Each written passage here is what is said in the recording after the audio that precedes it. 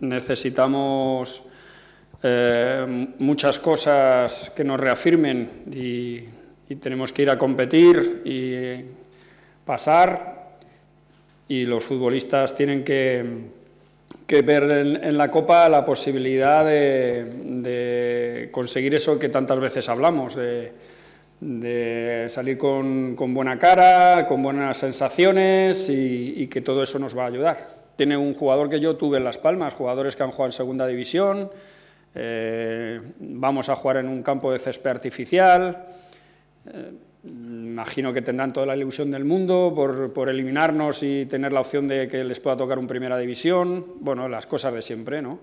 Eh, pero bueno, nosotros tenemos que pensar que este partido puede ser bueno para el siguiente que, nos toca, que es en, la Romareda. Nuestros problemas eh, hace tiempo ya no son psicológicos, son problemas de conceptos, tácticos y por lo tanto solucionables por nosotros mismos. Así que eh, un futbolista profesional, un deportista profesional tiene que ir hacia adelante, tiene que levantar la cabeza y para salir de esta situación tenemos que que solucionar los, errores que tenemos, que son lo que nos, nos hace eh, en partidos que no somos peor que el rival, no conseguir puntos. Eh, eso es lo que nos mata. Así que lo demás, yo veo al equipo optimista, le veo al equipo con ganas, veo al equipo convencido de revertir la situación y eso es lo que a mí me importa.